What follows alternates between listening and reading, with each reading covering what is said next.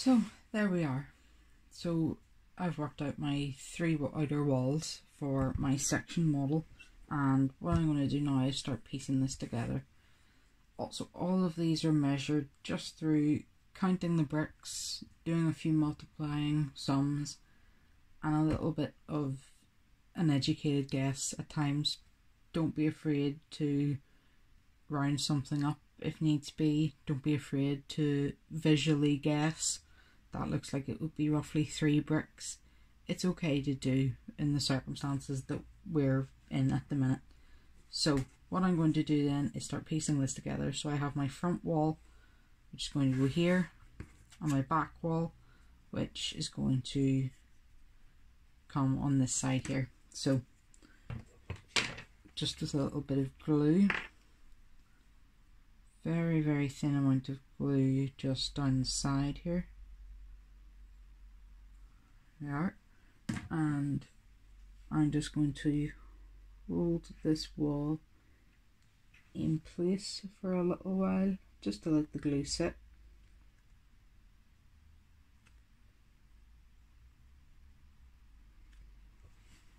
There we go.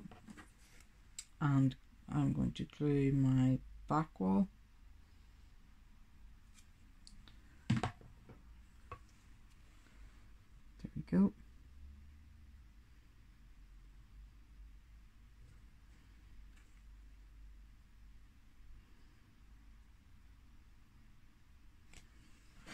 Hmm.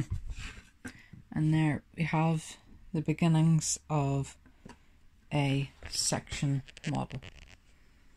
So the next steps are to add to our roof here and that can be done just by taking this measurement and allowing for a little bit of uh, an overhang. Because if you look at the image of your house you'll see that your roof will always come and have a little lip over the edge of your wall. So we will build up our little chimney block here and then build up our roof around that. So here I've got my two little roof pieces which I'm just going to glue onto this model here. So put a little dab of glue just to hold this in place once it's on.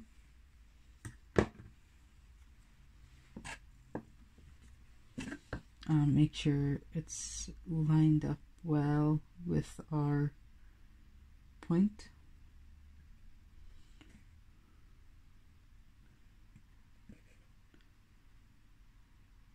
Just hold it in place for a little second. Now, and that's one half of our roof. Do the exact same on the other side. A little bit of glue just to hold it in place. A little bit of glue goes a long way. And add our other half on.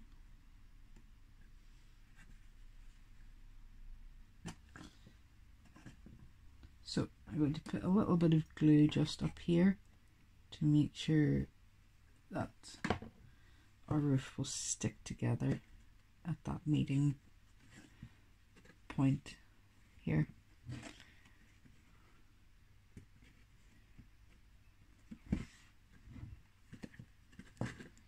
sometimes it takes a little bit of holding in place, a little bit of pushing, but then it comes together there.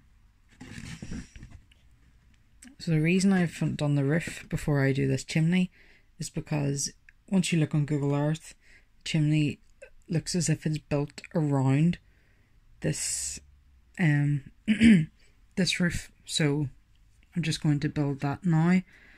Um working around the shape of the roof that we have. So let me see how can I position this. Maybe a little better. Yep.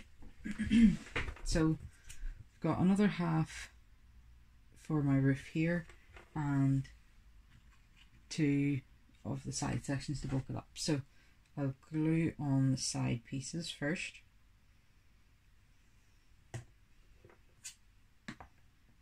So we started off with this roof in 2D and what we're essentially going to try and do now is build up this chimney in a 3D form.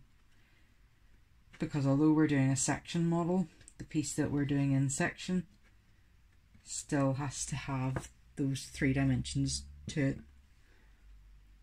So, if that makes sense. So I'm just going to glue those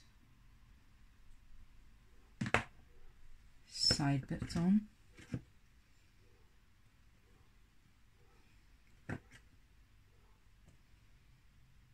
Okay, and there we are. And so we just have to cut, make a cut out in this little piece so that it can slot over the shape of that roof. And let's see. So the way I'm going to do it is, again, this is the element of guesstimation, which is allowed to happen. So, what I'm going to do is lie that piece down just on top of where that um, other piece is because this is going to mirror the section here. So I'm just going to lay that as best I can and then follow the axis of the roof that we've already constructed here because this box just needs to fit over that axis. There we are. Now, and just going to cut that out. And model making like this, especially when you don't know the dimensions, can be trial and error. Also, you should be using, which I should be doing, a metal ruler to always make sure your cuts are straight. There we are. So we have that little section cut out. So before we do anything with glue, we'll just try it on and it fits perfectly. Let me see there. So that fits on well. What we'll do is just glue that on in place.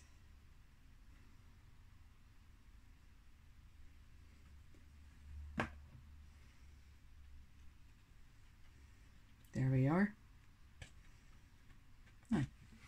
And that is the outer shell for a section model complete.